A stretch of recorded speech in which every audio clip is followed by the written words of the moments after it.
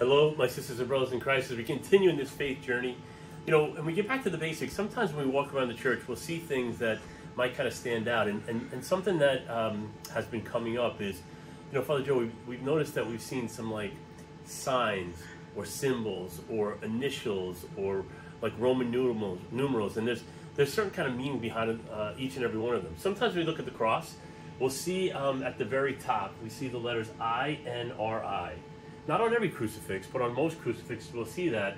And, and so the question is, where does that come from? We go to the scriptures in John's Gospel. Um, at the time of the crucifixion, when Jesus was put on the cross, remember that they put the sign above his head. Uh, Jesus Christ, uh, the King of the Jews, right? So, well, what does INRI stand for? If you can remember, right? Sometimes it was written. It was written in three different languages. It was written in, in, in Hebrew. It was written in Latin, and it was written in Greek. So the INRI would be from the Latin. The I would be Jesus, right? That's how that that's how the letter would be. The J would be have written with like the I. N would be the Nazarene, and the R would be for Rex, which means the king, and Judaeum is, is or the Jews. Um, again, J in, in, Jesus and the J in Jews. Um, that's how people would recognize that.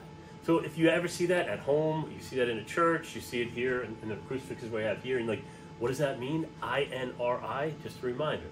Jesus the Nazarene, the King of the Jews. Jesus the Nazarene Rex of the Jews, like R R E X, like Tyrannosaurus Rex, the King, the biggest. And um, and so so that's one of those things like, hmm, I wonder what that is. I N R I, Jesus Christ, King of the Jews. God bless you.